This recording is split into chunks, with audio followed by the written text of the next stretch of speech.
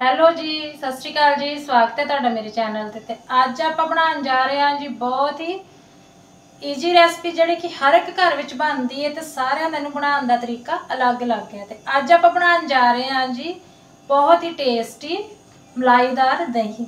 ਦਹੀਂ ਬਣਾਉਣ ਦੇ ਵੀ ਤਰੀਕੇ ਆਪੋ ਆਪਣੇ ਹਿਸਾਬ ਨਾਲ ਸਾਰੇ ਆਪਣੇ ਘਰਾਂ ਵਿੱਚ ਦਹੀਂ ਨੂੰ ਜਮਾਉਂਦੇ ਨੇ ਤੇ ਅੱਜ ਆਪਾਂ ਜਿਸ ਤਰੀਕੇ ਨਾਲ ਘਰ ਆਪਣੇ ਦਹੀਂ ਤਿਆਰ ਕਰਦੇ ਉਹ ਮੈਂ ਤੁਹਾਡੇ ਨਾਲ ਸ਼ੇਅਰ ਕਰਾਂਗੀ। ਚਲੋ ਜੀ, ਫਿਰ ਸ਼ੁਰੂ ਕਰਦੇ ਹਾਂ ਜੀ ਅੱਜ ਦੀ ਆਪਣੀ ਰੈਸਪੀ ਦਹੀਂ ਬਣਾਉਣ ਲਈ ਤੇ ਸਭ ਤੋਂ ਪਹਿਲਾਂ ਸਾਨੂੰ ਚਾਹੀਦਾ ਹੈ ਡਬਲ ਫੈਟ ਦੁੱਧ ਯਾਨੀ ਕਿ ਮੱਝ ਦਾ ਦੁੱਧ। ਜਿਵੇਂ ਕਿ ਅਸੀਂ ਗਾਂ ਦੇ ਦੁੱਧ ਦਾ ਦਹੀਂ ਬਣਾਵਾਂਗੇ, ਉਹ ਹਮੇਸ਼ਾ ਹੀ ਪਤਲਾ ਬਣੇਗਾ ਤੇ ਉਹਦਾ ਟੇਸਟ ਵੀ ਥੋੜਾ ਸਹੀ ਨਹੀਂ ਆਏਗਾ। ਜੇ ਆਪਾਂ ਮੱਝ ਦੇ ਦੁੱਧ ਦਾ ਦਹੀਂ ਬਣਾਵਾਂਗੇ ਤੇ ਬਹੁਤ ਵਧੀਆ ਬਣ ਕੇ ਤਿਆਰ ਹੋਏਗਾ, ਕਿਉਂਕਿ ਇਹ ਦੁੱਧ ਕਾਫੀ ਗਾੜਾ ਹੁੰਦਾ ਹੈ। ਇਹ ਮੇਰੇ ਕੋਲ 1 ਕਿਲੋ ਮੱਝ ਦਾ ਦੁੱਧ ਹੈ, ਇਹ ਕੱਚਾ ਦੁੱਧ ਹੈ ਤੇ ਮੈਂ ਇਹਨੂੰ ਉਬਾਲ ਕੇ ਤਿਆਰ ਕਰਾਂਗੀ। ਥੋੜੀਆਂ ਜੀਆਂ ਗੱਲਾਂ ਜਿਨ੍ਹਾਂ ਦਾ ਆਪਾਂ ਧਿਆਨ ਰੱਖਾਂਗੇ ਤੇ ਦਹੀਂ ਆਪਣਾ ਬਹੁਤ ਜ਼ਿਆਦਾ ਟੇਸਟੀ ਬਣ ਕੇ ਤਿਆਰ ਹੋਏਗਾ। ਹੁਣ ਆਪਾਂ ਇੱਕ ਲਵਾਂਗੇ ਪਤੀਲਾ। ਇਹ ਵਾਲਾ ਪਤੀਲਾ ਹੈ ਤੇ ਇਹਨੂੰ ਮੈਂ ਪਹਿਲਾਂ ਹੀ ਪਾਣੀ ਨਾਲ ਗਿੱਲਾ ਕੀਤਾ ਹੈ ਤੇ ਥੋੜਾ ਜਿਹਾ ਪਾਣੀ ਮੈਂ ਇਹਦੇ ਵਿੱਚ ਪਾਵਾਂਗੀ। ਇਸ ਤਰ੍ਹਾਂ ਕਿ ਥੋੜਾ ਜਿਹਾ ਪਾਣੀ ਪਾਉਣ ਨਾਲ ਭਾਂਡੇ ਦੇ ਨਾਲ ਦੁੱਧ ਨਹੀਂ ਲੱਗਦਾ ਤੇ ਬੜੀ ਜਲਦੀ ਆਪਣਾ ਦੁੱਧ ਉਬਲ ਕੇ ਤਿਆਰ ਹੋ ਜਾਂਦਾ ਹੈ ਤੇ ਹੁਣ ਆਪਾਂ ਉਬਾਲਾਂਗੇ ਜੀ ਦੁੱਧ। ਇਹ ਵਾਲਾ ਦੁੱਧ ਇਹਨੂੰ ਮੈਂ ਪਹਿਲਾਂ ਹੀ ਭੁੰਨ ਕੇ ਰੱਖਿਆ ਹੈ ਤੇ ਹੁਣ ਮੈਂ ਪਤੀਲੇ 'ਚ ਪਾ ਲਾਂਗੀ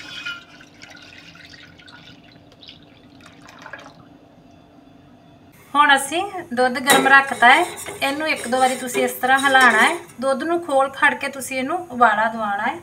ਜਦੋਂ ਇੱਕਦਮ ਇਹ ਤੇਜ਼ ਸੇਕ ਤੇ ਇਹਨੂੰ ਇੱਕ ਉਬਾਲਾ ਦਵਾ ਕੇ ਫਿਰ ਮੀਡੀਅਮ ਫਲੇਮ ਤੇ ਇਹਨੂੰ ਆਪਾਂ 7-8 ਮਿੰਟ ਪਕਾਵਾਂਗੇ। ਜਿੰਨੀ ਚੰਗੀ ਤਰ੍ਹਾਂ ਨਾਲ ਦੁੱਧ ਨੂੰ ਉਬਾਲਾਂਗੇ ਥੋੜਾ ਜਿਹਾ ਗਾੜਾ ਕਰਾਂਗੇ ਤੇ ਫਿਰ ਇਹਦਾ ਦਹੀਂ ਬਣਾਈਏ ਤੇ ਬਹੁਤ ਜ਼ਿਆਦਾ ਟੇਸਟੀ ਦਹੀਂ ਬਣ ਕੇ ਤਿਆਰ ਹੁੰਦਾ ਹੈ। ਤੇ ਇਹ ਬਹੁਤ ਜ਼ਿਆਦਾ ਵਧੀਆ ਬਣਦਾ ਹੈ।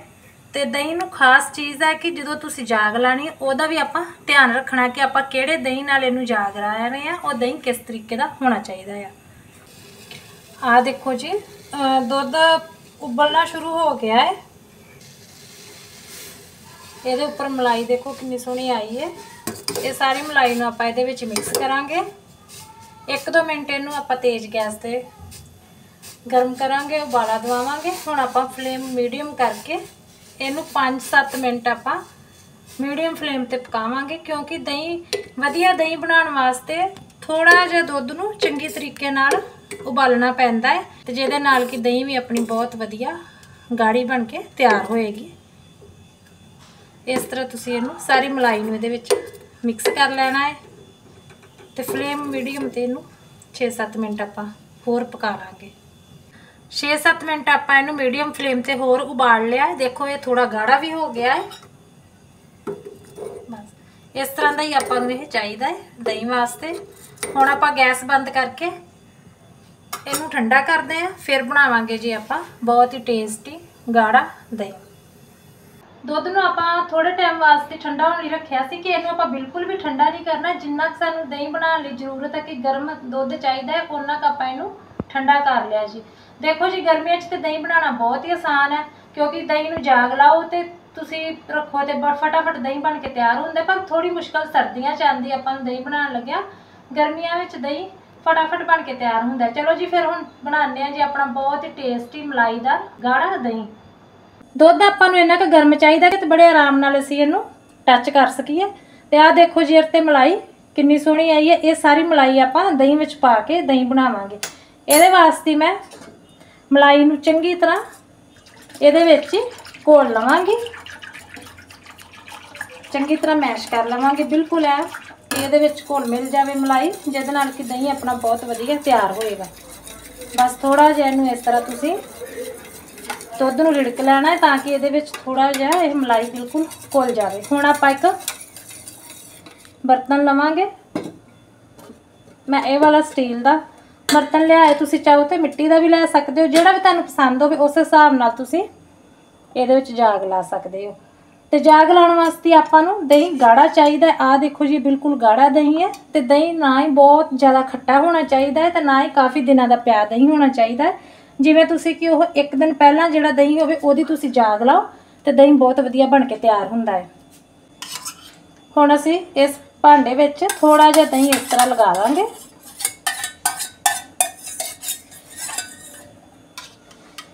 ਬਸ। ਮੈਂ ਇੱਕ ਹੀ ਚਮਚਾ ਲਾਇਆ ਹੈ ਦਹੀਂ, ਬਸ। ਇਹਦੇ ਨਾਲ ਹੀ ਬਹੁਤ ਵਧੀਆ ਦਹੀਂ ਬਣ ਕੇ ਤਿਆਰ ਹੋਏਗਾ। ਜੇ ਆਪਾਂ ਇਹਦੇ ਵਿੱਚ ਜਾਗ ਜ਼ਿਆਦਾ ਪਾ ਦਈਏ, ਤਾਂ ਵੀ ਆਪਣਾ ਦਹੀਂ ਖੱਟਾ ਬਣੇਗਾ। ਹੁਣ ਇਹ ਵਾਲਾ ਦੁੱਧ ਆਪਾਂ ਇਹਦੇ ਵਿੱਚ ਪਾ ਦਾਂਗੇ।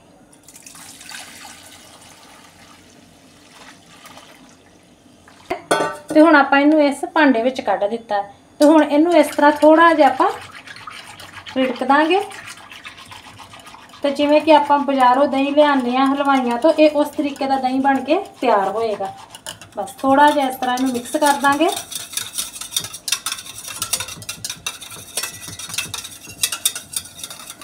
ਆ ਦੇਖੋ, ਇਹਦੇ ਉੱਪਰ ਕਾਫੀ ਝੱਗ ਜੀ ਬਣ ਗਈ ਹੈ। ਇਹਦੇ ਨਾਲ ਹੀ ਦਹੀਂ ਆਪਣਾ ਵਧੀਆ ਬਣ ਕੇ ਤਿਆਰ ਹੋਏਗਾ।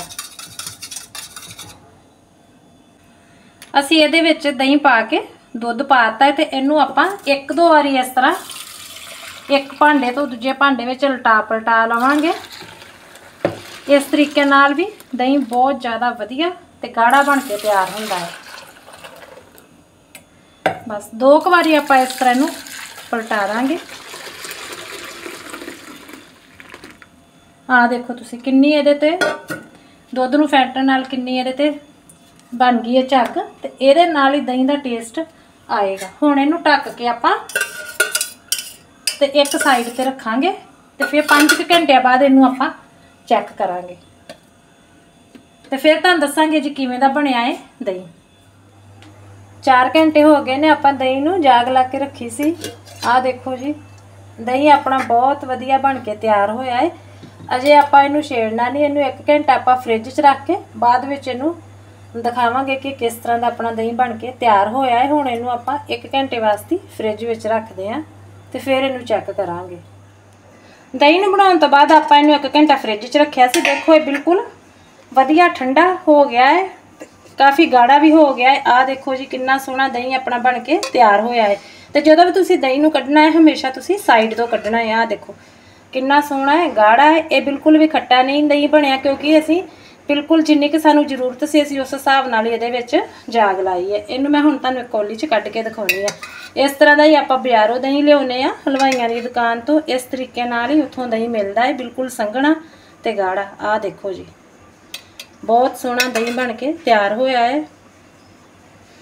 ਸੋ ਇਹ ਸੀ ਮੇਰਾ ਤਰੀਕਾ ਦਹੀਂ ਬਣਾਉਣ ਦਾ। ਤੁਸੀਂ ਵੀ ਇਹਨੂੰ ਇਸ ਤਰੀਕੇ ਨਾਲ ਬਣਾਇਓ ਤੇ ਖਾਇਓ ਤੇ ਫਿਰ ਮੈਨੂੰ ਦੱਸਿਓ ਕਿ ਤੁਹਾਡੀ ਰੈਸਪੀ ਕਿਵੇਂ ਦੀ ਬਣੀ ਹੈ। ਸੋ ਇਹ ਸੀ ਮੇਰਾ ਤਰੀਕਾ, ਜਿਸ ਤਰੀਕੇ ਨਾਲ ਮੈਂ ਆਪਣੇ ਘਰ ਵਿੱਚ ਦਹੀਂ ਬਣਾ ਕੇ ਤਿਆਰ ਕਰਦੀ ਆ ਸੱਚੀ ਇਸ ਤਰੀਕੇ ਨਾਲ ਦਹੀਂ ਬਣਾਉਂਗੇ ਤੇ ਬਹੁਤ ਹੀ ਵਧੀਆ ਬਣ ਕੇ ਤਿਆਰ ਹੋਏਗਾ ਤੇ ਖਾਣ ਵਿੱਚ ਵੀ ਬਹੁਤ ਟੇਸਟੀ ਹੋਏਗਾ। ਇੱਕ ਕੋਸ਼ਿਸ਼ ਕਰਿਆ ਕਰੋ ਕਿ ਜਦੋਂ ਵੀ ਤੁਸੀਂ ਦਹੀਂ ਬਣਾਉਣਾ ਹੈ, ਇਹਨੂੰ ਦਿਨ ਦੇ ਟਾਈਮ ਤੇ ਬਣਾਇਆ ਕਰੋ। ਕਿਉਂਕਿ ਜਦੋਂ ਅਸੀਂ ਰਾਤ ਦੇ ਟਾਈਮ ਤੇ ਦਹੀਂ ਬਣਾਉਨੇ ਆ ਤੇ ਅਸੀਂ ਰਾਤ ਜਾਗ ਲਾ ਕੇ ਰੱਖ ਦਿੰਨੇ ਆ ਤੇ ਸਵੇਰੇ ਕਈ ਵਾਰੀ ਅਸੀਂ ਥੋੜਾ ਲੇਟ ਉੱਠਦੇ ਆ ਤੇ ਸਾਨੂੰ ਉੱਠਣ 'ਚ ਥੋੜੀ ਦੇਰੀ ਹੋ ਜਾਂਦੀ ਜਿਸ ਕਰਕੇ ਦਹੀਂ ਬਾਹਰ ਪਿਆ ਹੀ ਖੱਟਾ ਹੋ ਜਾਂਦਾ ਹੈ। ਤੇ ਜਿਵੇਂ ਸਵੇਰ ਦੇ ਟਾਈਮ ਤੇ ਆਪਾਂ ਦਹੀਂ ਬਣਾਵਾਂਗੇ 3-4 ਘੰਟੇ 'ਚ ਆਪਣਾ ਦਹੀਂ ਬਣ ਕੇ ਤਿਆਰ ਹੋ ਜਾਏਗਾ ਤੇ ਉਹਨੂੰ ਆਪਾਂ ਫ੍ਰਿਜ 'ਚ ਰੱਖਾਂਗੇ ਤਾਂ ਬਿਲਕੁਲ ਵੀ ਖੱਟਾ ਨਹੀਂ ਹੋਏਗਾ। ਜੇ ਸ਼ਾਮ ਟਾਈਮ ਤੁਸੀਂ ਦਹੀਂ ਬਣਾਉਣਾ ਹੈ, ਤੇ ਤੁਸੀਂ 6-7 6-7 ਵਜੇ ਦੇ ਕਰੀਬ ਦਹੀਂ ਬਣਾਓ 10 ਵਜੇ 10:30 ਵਜੇ ਤੱਕ ਜਿਹੜਾ ਦਹੀਂ ਬਣ ਕੇ ਤਿਆਰ ਹੋਵੇ, ਤੇ ਫਿਰ ਤੁਸੀਂ ਉਹਨੂੰ ਫ੍ਰਿਜ ਵਿੱਚ ਰੱਖੋ। ਤੇ ਇਸ ਤਰ੍ਹਾਂ ਦਹੀਂ ਕਦੇ ਵੀ ਖੱਟਾ ਨਹੀਂ ਹੁੰਦਾ ਤੇ ਬਹੁਤ ਟੇਸਟੀ ਬਣ ਕੇ ਤਿਆਰ ਹੁੰਦਾ ਹੈ। ਸੋ ਜੀ, ਮਿਲਦੇ ਆ ਜੀ ਕਿਸੇ ਨਵੀਂ ਵੀਡੀਓ ਵਿੱਚ, ਕਿਸੇ ਨਵੀਂ ਰੈਸਪੀ ਨਾਲ। ਤਦ ਤੱਕ ਲਈ ਸਤਿ ਸ੍ਰੀ ਅਕਾਲ ਜੀ, ਖੁਸ਼ ਰਹੋ, ਤੰਦਰੁਸਤ ਰਹੋ ਜੀ ਹੱਸਦੇ ਵਸਦੇ ਰਹੋ। ਵੀਡੀਓ ਦੇਖਣ ਵਾਸਤੇ ਤੁਹਾਡਾ ਬਹੁਤ ਬਹੁਤ ਧੰਨਵਾਦ।